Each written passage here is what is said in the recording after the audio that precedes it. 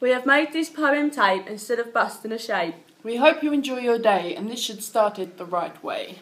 You were born 24 years ago and still haven't learned to blow. You came out your mother's fanny, and if you're a boy, we would have called you Danny. You grow into a sexy boy and you are the real McCoy. Oh, how you have grown. Oh, and you know how to moan.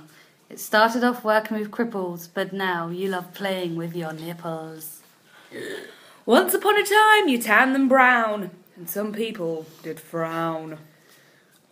You sometimes can be very simple and you love to pop everyone's pimple. We haven't bought you any wine, instead, we made this classic rhyme. This time around, don't wet your knickers. Instead, just eat your lucky Snickers. We've all shared some magic events, and me and her borrowed Adam's tents. You dye your hair and mist it red, but most of it ends up on your forehead. All over your top it goes, at least it doesn't go up your nose. You love to play a bit of bingo, and today we're gonna see a flamingo. You do spend most your time at Hillbeck. You ain't even got time for a health check.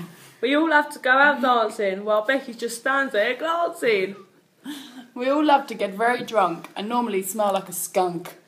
Here's to hoping you have more great times because we are all your partners in crime. So, what more can we say except have a great birthday? Haggis!